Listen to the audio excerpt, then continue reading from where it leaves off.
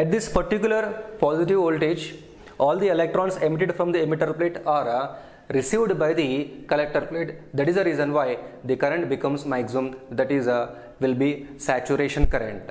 When uh, the potential below this uh, particular voltage, particular positive voltage, then all electrons are not received by the collector plate. That is the reason why current is not maximum.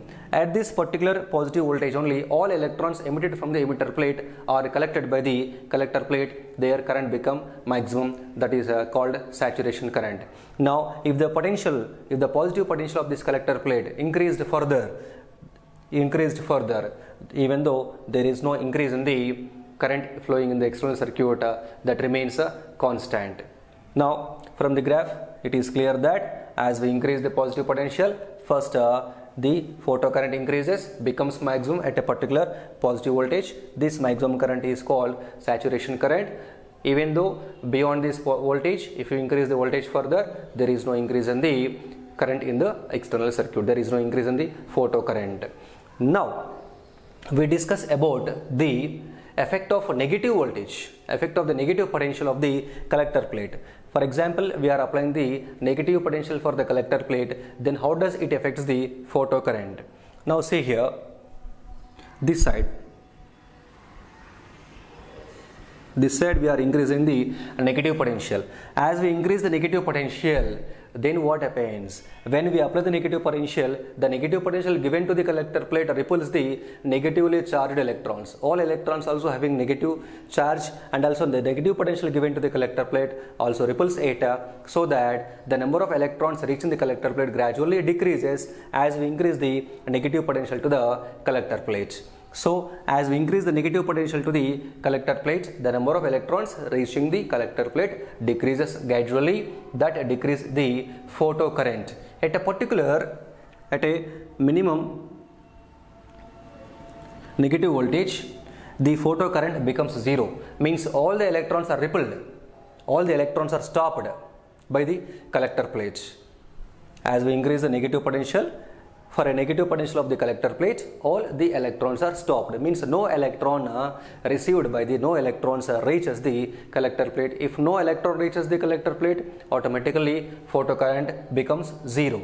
Now the minimum negative voltage the minimum negative voltage of the collector plate at which the photocurrent becoming zero is called here stopping potential or cutoff potential. It is denoted with the V naught and it is negative value. So it is minus V naught.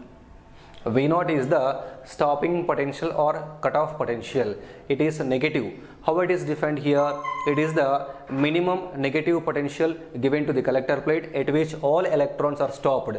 Means at which the photocurrent becomes zero is called here negative potential is called stopping potential or uh, cutoff potential now here we discuss the variation of the photocurrent with the positive potential and negative potential of the collector plates for a particular intensity of the incidental light. Now let us see.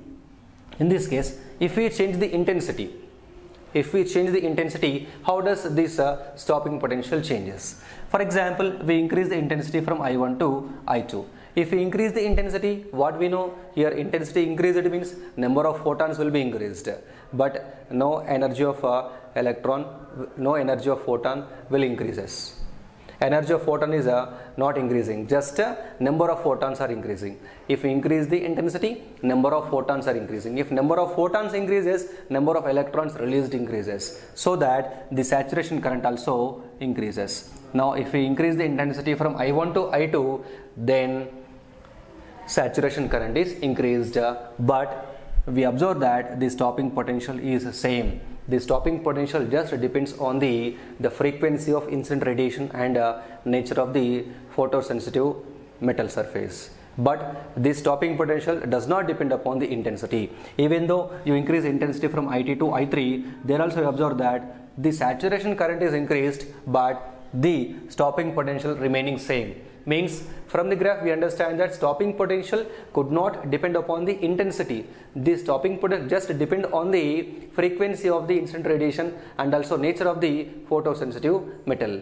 Now this is about the variation of the photocurrent with the applied uh, voltage to the collector plate. This side it is a variation of photocurrent with the positive voltage to the collector plate and this side it is the variation of the photocurrent with the negative voltage of the collector plate.